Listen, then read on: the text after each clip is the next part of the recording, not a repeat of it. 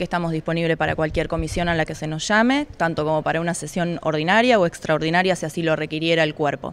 Por otro lado, eh, comentarle a los vecinos que nosotros habíamos mandado en nombre de, Griselda y acompañándola con el concejal Garciera una nota eh, solicitando que se postergue la sesión preparatoria llamada para el 2 de diciembre porque la concejal electa Griselda Valdecasa no podía presentarse ese día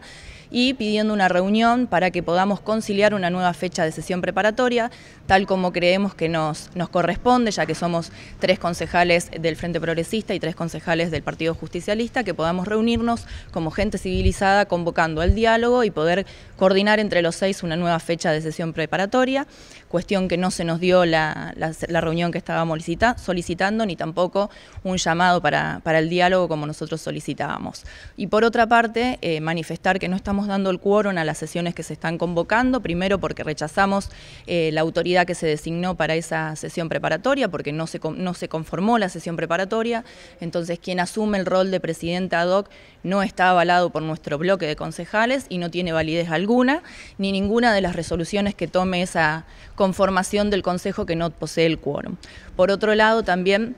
Está bueno aclarar que eh, mientras no haya quórum no se pueden tomar ninguna decisiones eh, por parte de ese consejo que no está conformado. La resolución que presenta el bloque del Frente Justicialista dice que el reglamento interno se interpreta de, una determinada forma, en donde eh, el presidente ad hoc es el vicepresidente segundo, algo que no lo menciona explícitamente el reglamento porque es muy ambiguo y que además cuenta con el doble voto, o sea, no nos da la posibilidad a los concejales electos y entrantes en la sesión preparatoria preparatoria poder definir alguna cuestión, algo que nos compete y nos corresponde por ley. Nosotros estamos con la responsabilidad de seguir trabajando hasta el 10 de diciembre, por lo cual podemos hacer comisión y podemos hacer sesión. Si el presidente del Consejo estampone,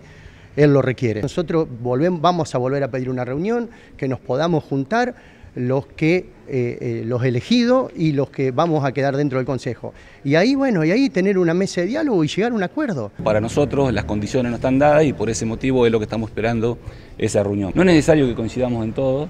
pero sí tenemos que conseguir algo que es muy importante, hacer de la política una práctica que nos orgullezca ante el vecino, que nos sigan garantizando esa confianza que el vecino nos transmite para seguir trabajando por la ciudad, desde el consenso, desde el disenso, pero por sobre todas las cosas, desde el respeto. Estamos esperando, en este caso, que los concejales de la oposición se junten con los concejales del Frente Progresista y la concejal electa para determinar las condiciones para llevar adelante la preparatoria. Muchos problemas en la ciudad, en el país, en la provincia, y hoy el vecino lo que menos quiere que los dirigentes políticos, por sobre todas las cosas, nos peleemos y pongamos palo en la rueda para seguir adelante con el progreso de la ciudad. Así que esa herramienta del diálogo es nuestra bandera, la vamos a llevar bien en el alta como para buscar una salida a esta situación.